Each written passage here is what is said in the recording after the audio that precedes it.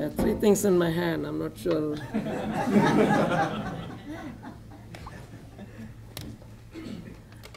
Good morning. Um, again, my name is uh, Jayakumar from uh, US Army TARDEC. I'm a research engineer at uh, TARDEC.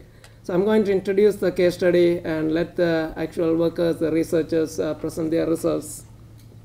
So the, um, the emphasis from the Army and from DoD is to make the vehicles uh, fully autonomous.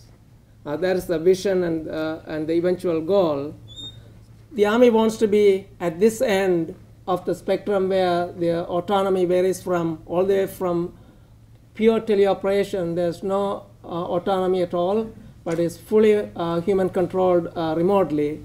And all the way, it goes all the way up to the full autonomy where there's no human involved at all.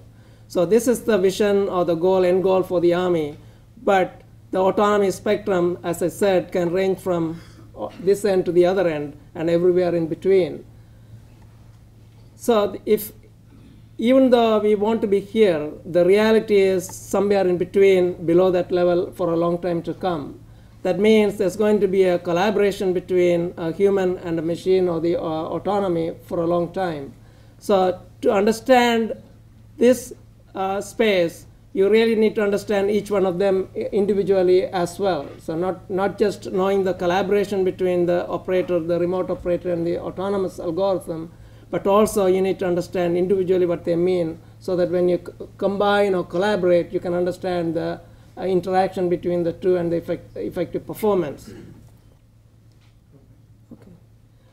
So what, what does that mean as far as mobility is concerned is that when there is no autonomy, only the driver, remote driver involved, or is fully autonomous or a combination, how that affects the mobility performance of the vehicle at the, in the whole spectrum. That is the interest of, for this case study. So what we are looking at, what you're going to hear from all the presentations uh, coming after the introduction, is going to look at how the vehicle mobility performance varies in the entire spectrum, going from the teleoperation to full autonomy, because even though we might end up here in a long, for a long term, the individual performance from the entire spectrum is important for us to understand so that uh, in the combination, we will also know how that uh, influences the effective outcome. Now, since, as I said, that uh, the entire spectrum is important, not just the uh, eventual outcome. So we're going to look at, in the teleoperation range, how the latencies or the delays matters in the mobility performance. It's a very uh, well-known fact that the communication between the operator, uh, the remote operator and the vehicle back and forth, and the delays in the communication affects very adversely in the mobility performance. You either cannot keep up with uh, uh, your intended path, or you, you cannot really go fast as much as you would like to go. So if you're driving, sitting in the vehicle and able to drive, it's often because of the lack of situational awareness or um, uh, the communication network issues, we often find the teleoperation is quite inferior, even though, but you saw on Dr. Gorsich's slide, when everything is ideal, you can really beat the driver sitting on the vehicle. But that's not really the case uh, in, uh, in real situation. So because of those limitations, the speed is very hampered, that the mobility is hampered. So the goal is to make the teleoperation uh, go fast as we can and so the, this project is going to, the project that we are going to talk about here is to accomplish high speed in the presence of uh, latencies or the delays in the system or the network. The next one is in the semi-autonomous region where is a combination of the collaboration between the remote operator and the autonomous algorithm is taking place. So we're looking at different aspects of the semi-autonomy. In one hand, there has to be a decision made how the control between the operator and the algorithm uh, works and what would be the best uh, collaborative opportunity between the two so that the eventual mobility outcome is the best. So this project looks at the first project or the project number two looks at the haptic feedback from the system so that the operator and the algorithm can decide what's the optimal combination so that the performance will be the best. Now, as I said, the eventual outcome the, where the Army wants to go, or, or the intended goal is going to be fully autonomous. What that also means, going from the left to the right, we expect the mobility performance is going to be better. That is, with the reduced involvement of the human and letting the machine handle more and more, the performance is expected to be better. So the project number three is looking at how or to demonstrate a shared control with increased autonomy and less of a human involvement really makes mobility better. Now, the ARC is modeling and simulation based, and knowing that all of this involve a human, to generate results, you are relying on human-based experiments, and that comes with a lot of limitations. You have to find the human operators, and you have to design the system and collect data. So this la last, uh, the project number four looks at if you take the human out and actually replace the human with a cognitive model, can you generate all those results by purely a modeling and simulation-based approach that doesn't rely on a real human? Uh, I don't mean between real and fake human. There is just take the human out and use a model-based human in the system to generate the same uh, results that you can generate from any one of these simulations. Now we are actually here in the, the dreamland where we want to be everything fully autonomous. Now, even though you would believe that the, uh, I mean, Google is driving on a fully autonomous land, but there's a lot of uncertainties and a lot of uh, issues when it comes to military vehicles. The, the vehicles are not small. We are looking at not like packbots, but large vehicles like Humvees and Strykers, and where the dynamics is, uh, plays a significant role. That in fact they limit the performance. You cannot. These are large vehicles with high center of gravities and you cannot go fast and turn fast either simultaneously. So the stability of the vehicle under uh, extreme uh, dynamic conditions limit the amount of performance you can get from a mobility perspective. So what we are looking at is looking at the existing path, path planning algorithms and how we can incorporate the dynamics aspects so that the resulting uh, recommended paths and uh, paths can be stable. That uh, uh, in terms of avoiding obstacles and unstructured payments, uh, unstructured environments that you are able to maneuver through safely without uh, compromising on your mobility performance in terms of speed and path following, etc. The last aspect is um, there's always an issue when it comes to autonomous simulations, the fidelity of the models that you will be using. And it's always a compromise made that to make the model simpler so that you can run fast and often in real time. What happens is, I like to say, is mostly the video game industry taking over the M&S when it comes to autonomous simulations. That anything that you see is believable, which is not really true. So this project looks at what is the trade-off between the model fidelity that you need versus the computational efficiency or the price to pay.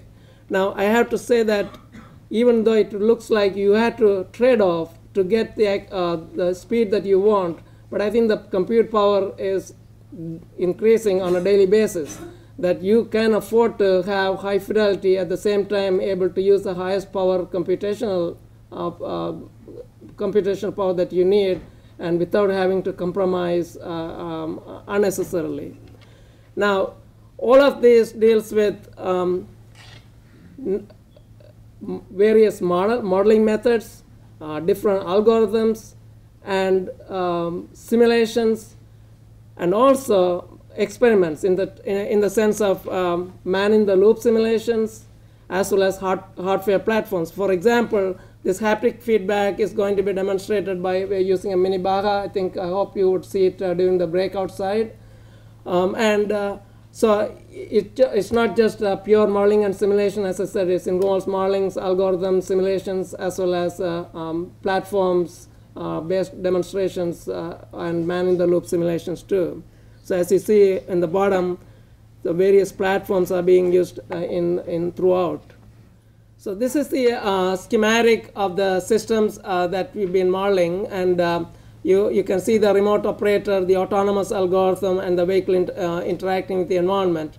And as, as, I finish the introduction, the, each presenter will uh, point to where they are on this uh, space and how it uh, affects the mobility from a, an autonomy perspective. So with that said, I'll uh, invite uh, Yingshi Zheng to talk about the um, the uh, pure teleoperation and how the speed, uh, you can have a high speed teleop in, in the presence of uh, um, delays or latencies.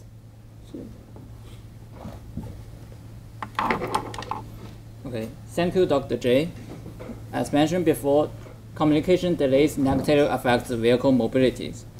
So this, this, in this part, we're focusing on using predictors to compensate communication delays in high-speed teleoperated vehicles. Ideally, without any delays, the systems is shown here. So based on the updated information of vehicle speed, global positions, and heading angles, the view of the environment and the, all the vehicle informations displayed to the human drivers are updated in this virtual interface. Human drivers look at the interface and using steering wheels and pedals to control the vehicles by applying the throttle, brake, and steering command. Here, the vehicle model is a notional Humvee. But in actually, there, in the actual teleoperator settings, there exists control delays and sensor delays uh, between the onboard and the offboard. So as mentioned before, delays with delays, vehicle is hard to control. So to compensate those delays, we're introducing new predictors. So based on the uh, delayed informations and their derivatives, the predictors aims to predict the undelayed signals at the current times. The predicted output X1 hat and X2 hat are the human control commands and the vehicle response signals, as mentioned before. So each predictors have the same st structures. They are governed by very simple dynamics. Specifically, predictors in our first order time delay systems. There are three important things to highlight here. Uh, the predictors have only one design parameter lambda to 10, and the range of lambda that ensures uh, stable predictors is only a function of time delay and not related to the system of either the driver or the vehicles. And as a result of that, the whole predictors do not need to know the system informations of the driver or the vehicle system. Thus, we are referring these predictors as the, model-free predictors. So to quantify the predictor's performance, a human-in-the-loop test was performed. During the test, Human drivers sit in front of computers, look at the virtual interface. The steering, uh, rotating the steering wheels and pressing the pedals to control the steering and the speed. Uh, three cases will be performed here. The ideal case without any delays, the delayed cases with 900 milliseconds of round-trip delays, and the predictor cases with the same amount of delay but with delay compensations. Each driver's drive five, uh, five drivers drive each cases seven times, and the order of the cases are randomized to reduce the human learning effect. And also, there will be a demo outside the corridors during coffee break. Uh, a notional Humvee, uh, a track with center line and other landmarks are animated in this virtual environment. And uh, the human drivers are instructed to complete this track and uh, drive the vehicles as close to the center line and as fast as possible. This video shows uh, comparisons of vehicle performance under all, under all cases. So the vehicle with the sand color is stand for the ideal cases, and the, the vehicle with the blue color stands for delay cases, and the vehicle with the tan color stands for the predict cases. And in the delay cases, we can see that the vehicle is hard to control and goes out of the track more often. It also took more time to complete the track, and the arrow to the center line is the greatest one. And the predictor cases seems to lead to better performance. So these are the test results for all driver status. Uh, again, three cases with the same color representations as shown in the videos are compared. three performance matrix are being studied here the track completion time, the L2 norm of the lane keeping arrows, and the steering control effort. Normalizing the delay and the predictor case with respect to the ideal case and using analysis of variance, we indicate that there exists significant difference in mean between all cases, as marked by the asteroid here. Are those bars uh, standard one standard deviation or two standard? Yes, it's one standard deviation. One standard deviation. And the predictor cases reduce the track completion time by 29%, the lane keeping error by 46% and the steering control effort by 47%. And thus, predictors are capable of significantly improving the vehicle mobilities. So to sum up, in this part, the predictors can compensate communication delays and significantly improving the vehicle mobilities in high-speed teleoperated vehicles. Next, we'll move on to the semi-autonomous spectrum, and Mr. Paul Bohm will talk about using haptic feedback for decision making. Thank you, Yingshi. Um, so as he said, we're going to move along the autonomous spectrum and introduce some autonomy in a control architecture, um, which is a haptic parallel control architecture. Oh, it is playing. Wonderful. Okay, so um, what we did is we took one of the Baja racing cars and we made it remote control.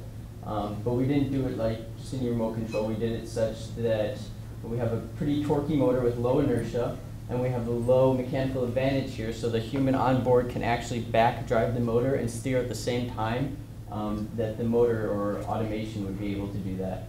Um, then we have it linked up with a radio link over to an off-board station um, so that someone off-board the vehicle can control it at the same time. That's Frank, um, you'll see him throughout the videos. And then this is our off-board station and we have the radio connection on the other side. And then we have a, a, similar setup to, it's actually basically identical to the one on the car with the, the motor and the um, belt drive to the steering wheel. So what we did with this is we created a virtual link. So the off-board and on-board wheels um, are linked. You see Frank turns one steering wheel, the steering wheel on the car moves, and then I can turn the wheel the other way, and then the off-board wheel moves and we can actually feel what each other are doing um, on the wheel as we move it um, back and forth as you see here. So then we took it off-road, or not off-road, on-road rather. Um, we put it on the road. I'm hanging on the side there because the batteries are in the seat. Um, this was fun. So you can actually see that um, the, the steering was linked, so I'm not touching the steering wheel. And Frank's able to steer the steering wheel on the car. So you could think of me maybe as a as an autonomy that right now doesn't need to do anything because uh, Frank's doing a good enough job driving. So he's just going to let me. Um, I'm just going to let him him steer the wheel like that. Um, but we'll show an application here um, with lane keeping. Um, we went on the diag, and um, so he's doing a bad job driving. You can see. But he's going to go off, and now the automation is going to kick in. Watch that steering wheel there. See, that's not him turning, that's the automation, and he can feel the effect there on the steering wheel as he's about to leave. It, it cuts back and keeps trying to go up the lane, but I don't let him. So, uh, and then we did another one with obstacle avoidance. Um, so Frank here is um, going to try to drive me into a tree and he's going to go for it. But at the last minute, I'm going to pull out this automation system. And you can see on Frank's wheel, you see this wheel, it, it kicks back. And then he's going to try to run me into a light post. Um, that's not going to work either. So anyway, um, come see the demo that we have outside um, during the break. And next will be um, Justin um, with talking about another control architecture. Thanks, Thanks Paul. Um, as Paul described, their work focuses, or their demo will focus on communication between human and automation, where each entity exchanges its information using haptics. The project that I'll be talking about today also focuses on this communication between human and automation. In my case, the human passes control inputs to the automation, as shown in the diagram on this screen, and then the automation and vehicle both communicate information back to the human using a visual display. Over the course of this case study presentation, you'll notice we're considering increasing levels of intelligence on board the UGV. In my particular project, we assume that the vehicle has some ability to sense and detect obstacles, however, it's not intelligent enough to complete the mission completely autonomously. That is, we require some input from the human operator in order to successfully complete the mission. We recently conducted a human subject study where we had users teleoperate a simulated robot in ANVEL and we had different test conditions of communication delay, and we had different levels of plain teleoperation and a semi-autonomous control method that we've developed. I'll use the human subject study we completed to try and describe to you how our semi-autonomous control method works. But first, I'll give you an overview of what the plain teleoperation scenario looked like. The human operator gave inputs to the robot using an Xbox gamepad controller, as you see in the bottom left corner. From these inputs of speed and turning, there was a path that the robot was projected to follow using blue lines overlaid on the robot's camera view. As you can see in the bottom right picture, uh, based on the current inputs, we predict that the human operator is going to collide with this orange traffic cone straight ahead. With the semi-autonomous mode, the human interacted with the system in a very similar way. They provided inputs of speed and turning. However, instead of these inputs being passed directly to the robot, they were passed to our semi-autonomous controller, which used model predictive control to match the human input as closely as possible without violating constraints. The constraints we imposed included avoiding collisions with obstacles and obeying the dynamic equations of motion of our robot. In the bottom right plot, you can see the red dashed lines are the path that the robot would follow if it listened to the human's input completely. But as we can see, this would cause a collision with the orange traffic cone. So the information displayed to the user was only this blue path with that, that the semi-autonomy calculated to move the robot on the right side of the obstacle. The video that's playing here is what the human subjects experienced during a trial of the user study. So they were human subjects were asked to drive around in an environment filled with obstacles and cover as much area as they could while avoiding collisions. There was uh, communication delay in between the inputs the human gave to the controller and what the robot actually received, as well as communication delay in the camera feed that was sent back to the user.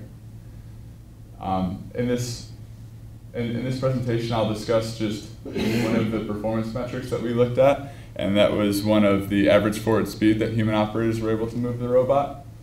So on this slide, the top two plots represent um, the low delay of 400 milliseconds and the high delay of 800 milliseconds for the teleoperation control mode. And the bottom plot represents these same two delays, but with the semi-autonomous control mode. So overall, we can see that the increased latency results in decreased uh, speed that human operators can drive.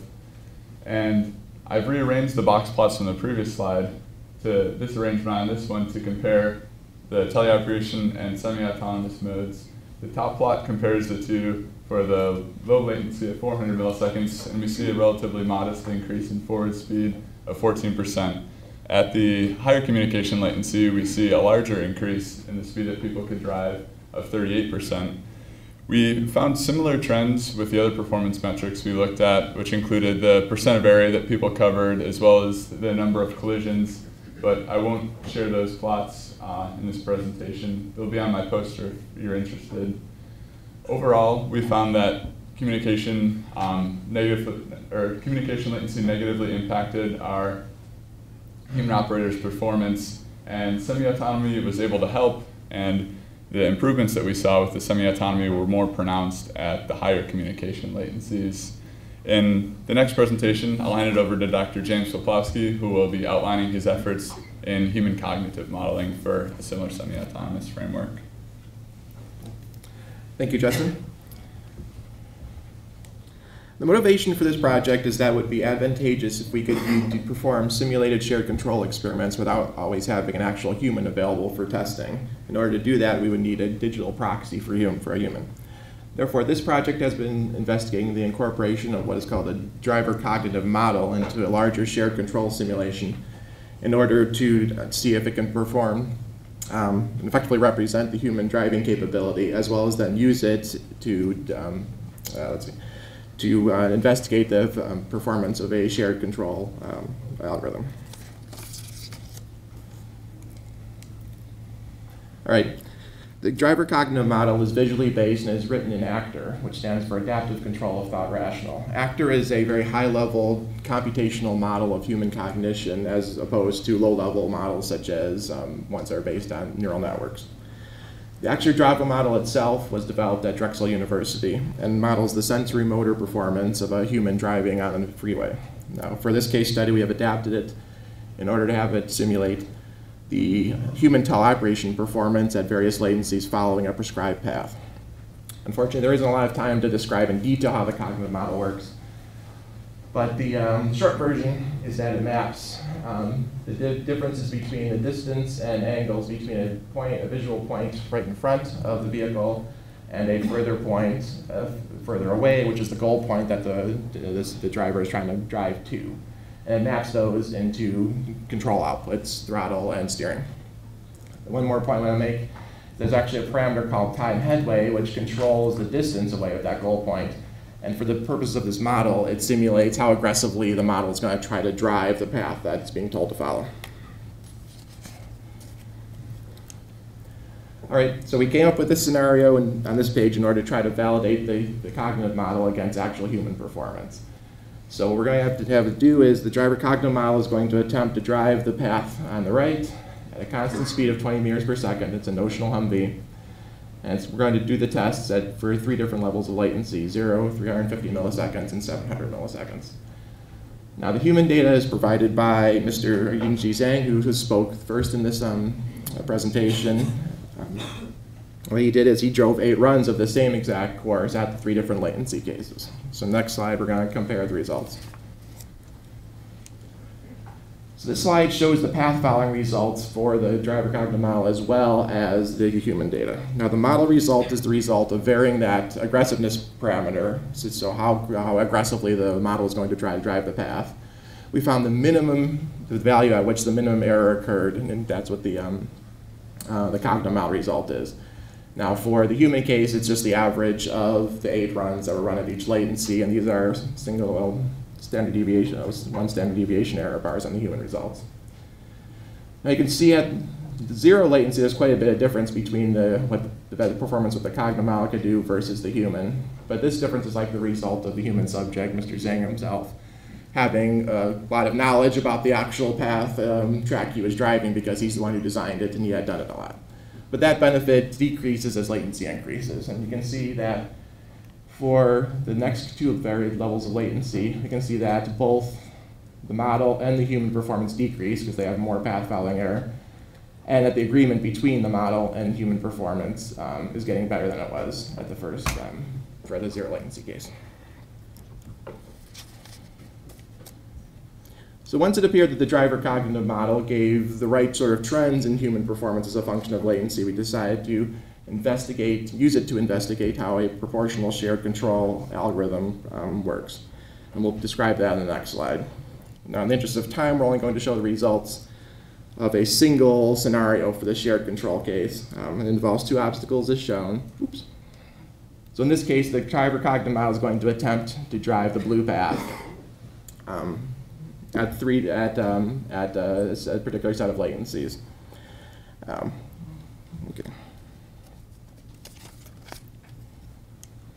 The next slide, this slide shows the particular shared control algorithm that we implemented, which was developed at MIT.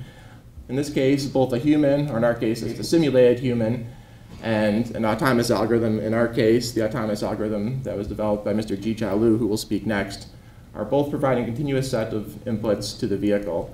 And they are be, being shared, I mean, they are being um, proportionally combined according to a value k, a proportionality constant k. This proportionality constant um, is a function of what we call a threat metric. An example of the threat metric function is down here at the bottom right. Now, the, in this case, the threat metric that we're using is this, the magnitude of the front wheel slip angle, and we're using this as a proxy for what the actual current uh, stability situation of the vehicle is.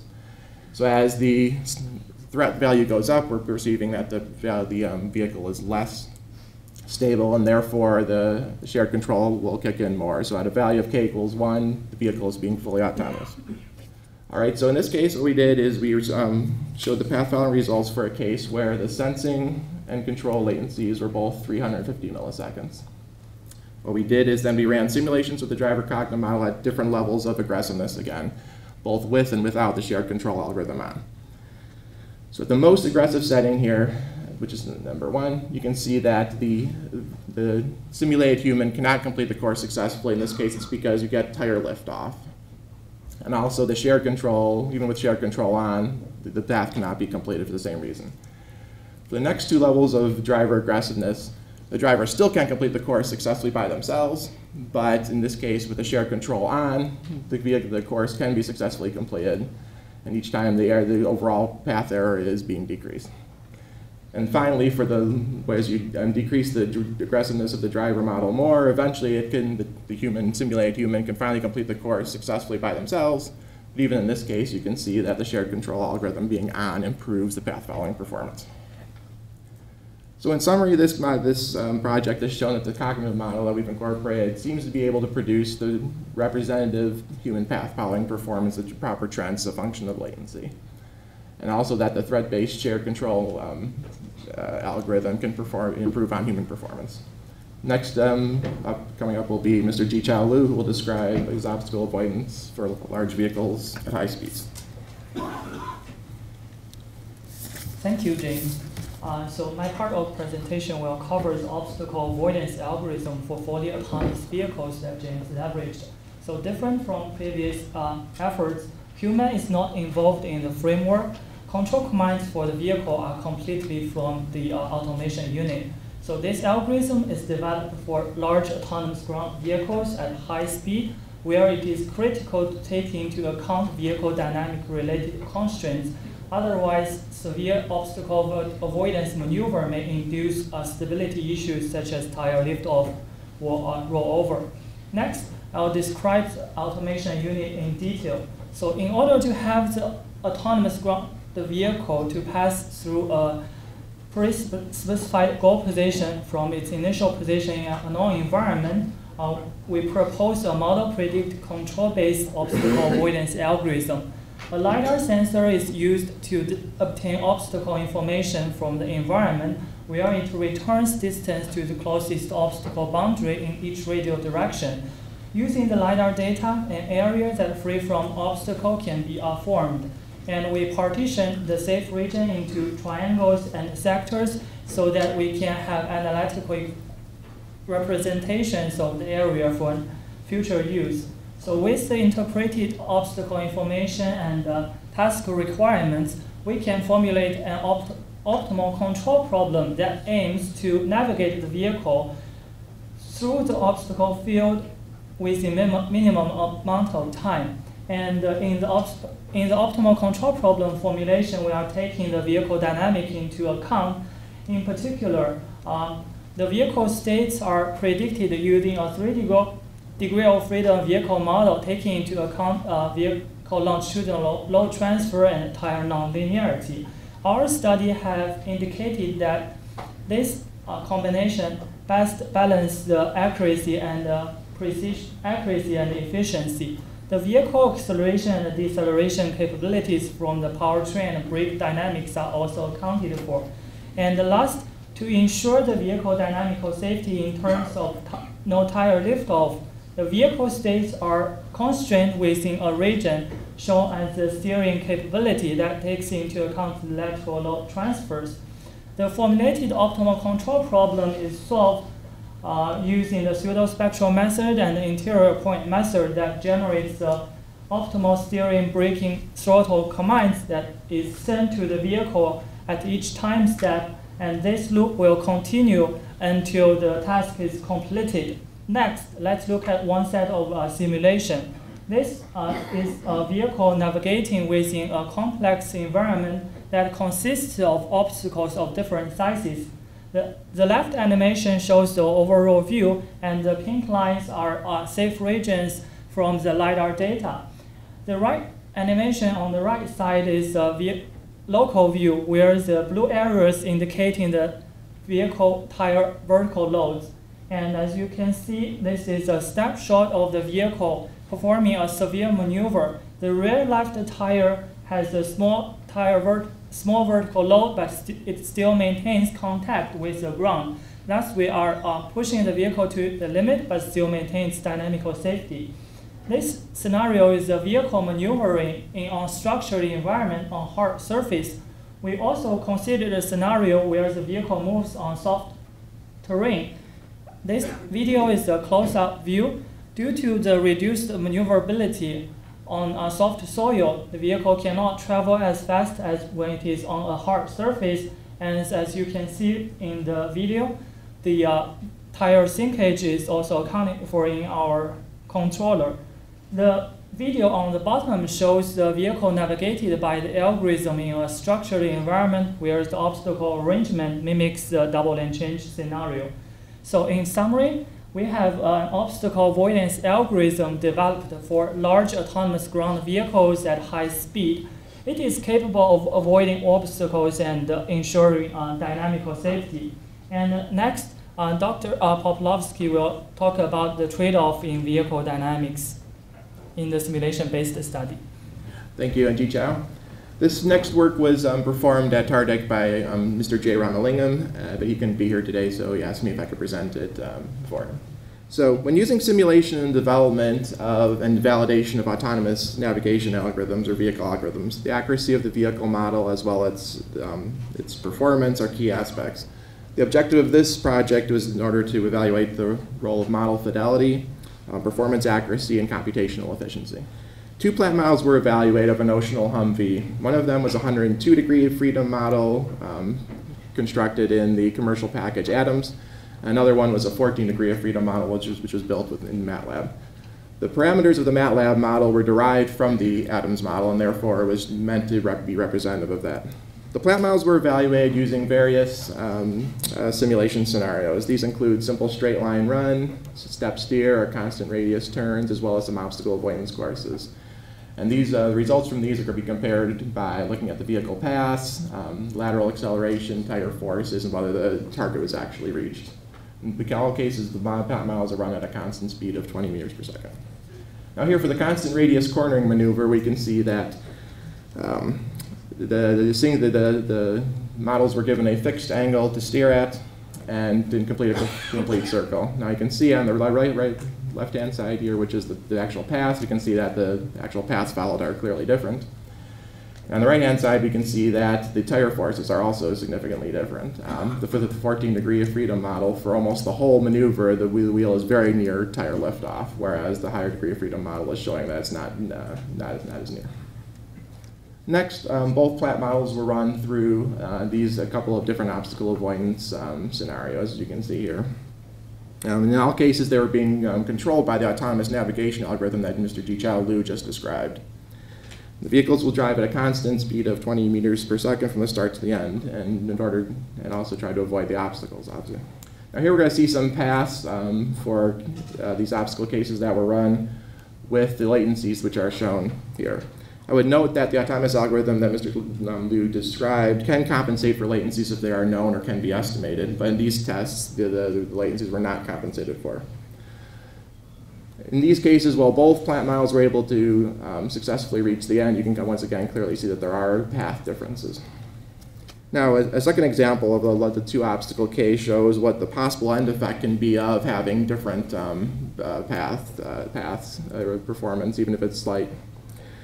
Now in this case, using a larger sensor delay than the previous slide, the vehicle paths of the two plants are so different in this case that the 14 degree of freedom model um, cannot successfully complete the, uh, the maneuver to get to the target. And what it wanted to do is it decided it was going to try to go around, but then it, because of the uncompensated latencies, it still ended up running into the um, obstacle. Whereas the, the, the, model run with the higher um, order model was able to successfully um, navigate through the, the, uh, the obstacles and get to the end. Now regarding computational efficiency, both plant models were run, in this case, um, simulating 50 seconds of the constant radius maneuver. And the data shows that the 14 degree of freedom model ran faster by over an order of magnitude, 18 seconds compared to 257 seconds. And the final column shows um, the performance loss that was resulted when, we, when um, co-simulation was used in order to use the high performance Adams model along with the um, autonomous navigation algorithm which was running in MATLAB. And you can see that we lose another order, uh, another factor of two in doing the, performing the co-simulation compared to Adams alone, and obviously is much larger now than the MATLAB model. So in summary, the, this effort found that a reduced order model, while much more computationally efficient, can yield different results than, than a detailed vehicle model. And in some circumstances, these differences can cause a difference in the predicted success of a mission. Um, therefore, a trade-off of performance accuracy versus computational efficiency needs to be made in order to determine under what circumstances you need a higher order model. Next, I would like to invite Dr. Tulga Ersal to summarize and conclude the case study. I just would like to take a couple of minutes to summarize everything we did. Um, as you can see, we have covered a lot of material, and I hope that gives you a good idea about how big this research problem space is. And we try to highlight all the uh, challenges that need to be addressed at various levels of autonomy. And we also tried to cover a little bit, I know it was very high level, but uh, what is the research that's going on in DR to address those challenges. And we are working very closely uh, with our uh, colleagues at TARDEC, um, and I just would like to highlight that uh, the, the fourth talk and the sixth talk, they were done at TARDEC, and we did that in, uh, in close collaboration with them. And we have covered teleoperation, semi-autonomy, fully autonomy, we covered different platforms ranging from small ground robots like the Superdroid to all the way up to a large uh, vehicle like a notional Humvee. And in all these scenarios, in all these operating modes, you need to face different challenges. And we need to understand what our algorithms are capable of doing at, at all these given levels of autonomy so that we can assess okay, if I have this much level of autonomy and to the next, uh, to go to the next level, I need to pay this much, how much will that buy me in terms of performance? So that uh, this case study very well aligns uh, with the needs that Dr. Gorsich highlighted in his talk. So overall, our research on predictors and shared control algorithms and uh, fully autonomous navigation algorithms uh, help increase uh, the vehicle mobility at those various levels of uh, autonomy we considered. So going back to this picture that we introduced at the beginning, and if we walk through it once again, we considered a purely teleoperated uh, vehicle, and we uh, introduced novel predictor uh, to help improve the performance of high-speed teleoperation when there are significant delays. And uh, we saw that performance can be really uh, improving with the help of those predictors. Then we invited you to a demo that will take place outside during the break. You can actually see the vehicle moving the way it was moving uh, in the video. And uh, hopefully when that work is complete, we'll be able to demonstrate that haptic feedback can provide better uh, decision-making capability to the remote operator. And then we uh, moved on to a novel semi-autonomy algorithm that uh, balances the control authority between the human and the automation. And again, we demonstrated compared to the fully, uh, purely teleoperated case, when you add the semi-autonomy, you can increase the mobility of the vehicle. And as the delay increases, the more benefits you can get uh, from the semi-autonomy. Then we talked about uh, human uh, operator modeling effort. We leveraged a cognitive model uh, from the literature that has never been tried in the teleoperation setting before. And uh, we, we saw some significant potential of that model to represent human in uh, pure uh, simulation-based studies as well. And then we talked about our automation algorithm and demonstrated how it can help avoiding obstacles fully autonomously at high speeds. And we also investigated the role of model fidelity uh, when it comes to representing the vehicle in a purely simulation-based um, uh, exercise and highlighted the trade-off between uh, the computational time and the accuracy. And we covered a lot of ground with these projects. But that doesn't mean that we are done. That doesn't mean we solved all the problems. We still have a lot of research to do and we look forward to addressing these kind of questions as well. So here I categorize them in two groups. The first one belongs to the algorithms category. We need to understand what our algorithms are capable of doing. What are their benefits? What are their limitations? How can we uh, push their limits, how can we make them perform better? For instance, we considered delays throughout the talk, and we only considered constant delays, or about variable delays. We talked about model predictive uh, control algorithms, and we never discussed the problem of what if our models are not that accurate? How can we make our algorithms more robust? So we'll be investigating those kind of questions when it comes to improving our algorithms.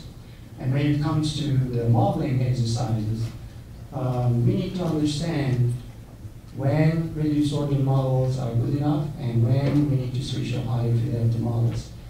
Obviously, we cannot simulate both of them all the time just to see if the reduced order model is good enough. So how do we know? How can we quantify that this is a scenario where you need to use a high fidelity model?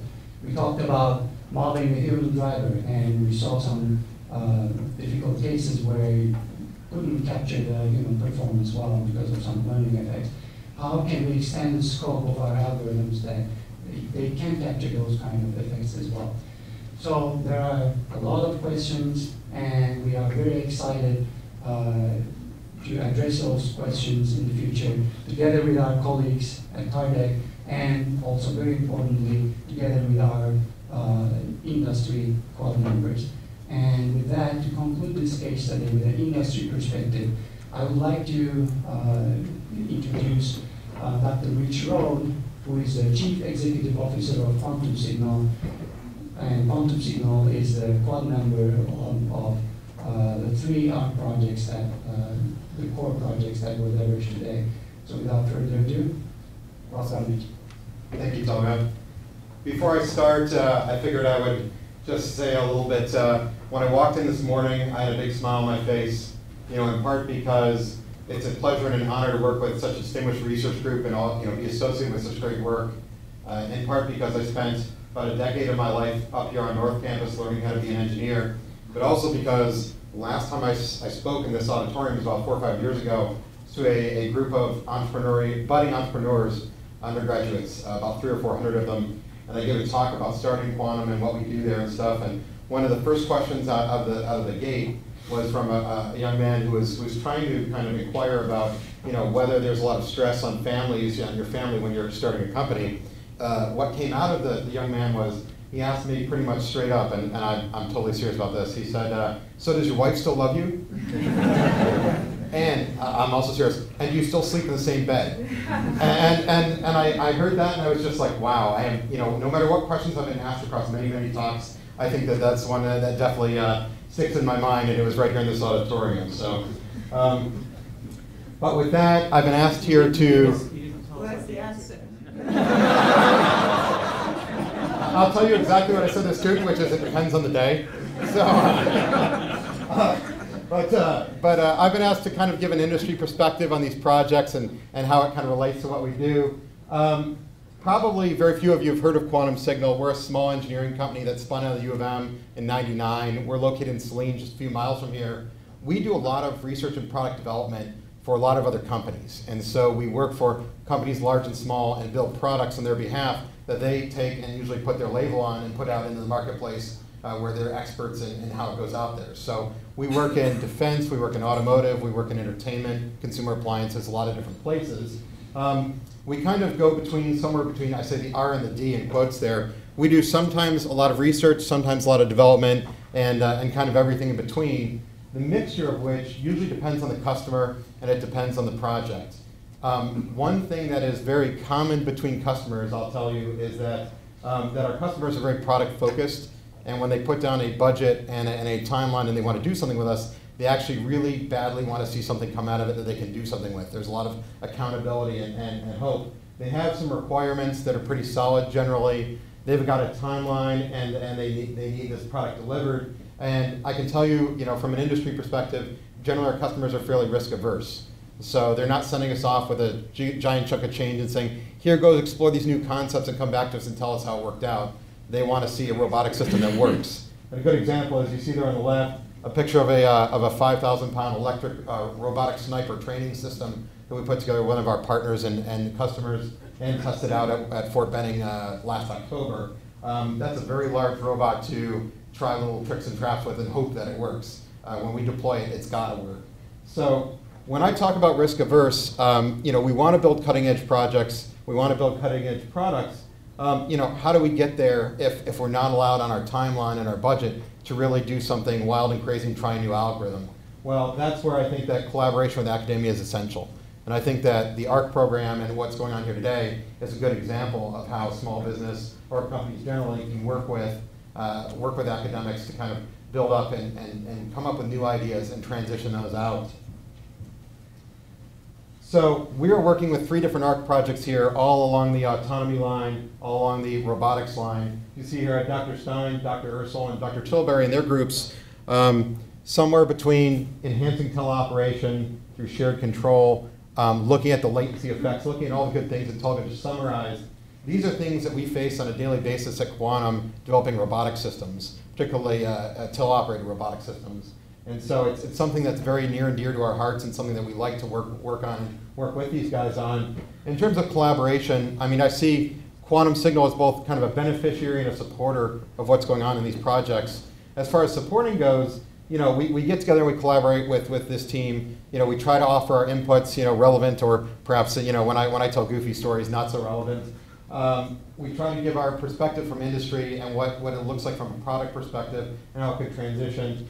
Um, we support it through working with these guys and using the ANVEL modeling and simulation environment and trying to get it to meet their needs. And it's a good two-way there because as users, they provide feedback to us, and as developers, we try to enhance the product uh, so it meets their needs as robotic system uh, engineers and, and researchers. Um, thirdly, things like a UGV-based implementation. So we do a lot of real-world testing with UGVs. The MIT uh, shared control algorithm that uh, Tulga and the guys mentioned here earlier was something that we worked with that group on in terms of testing out in the field on board that uh, X-by-wire type Kawasaki Mule. And uh, so we're working with these guys to try to get some of these algorithms on board and do some real world testing. Um, you know, all the stuff that's going on that was described here this morning in the case study has relevance to real world ongoing projects at Quantum Signal and other places.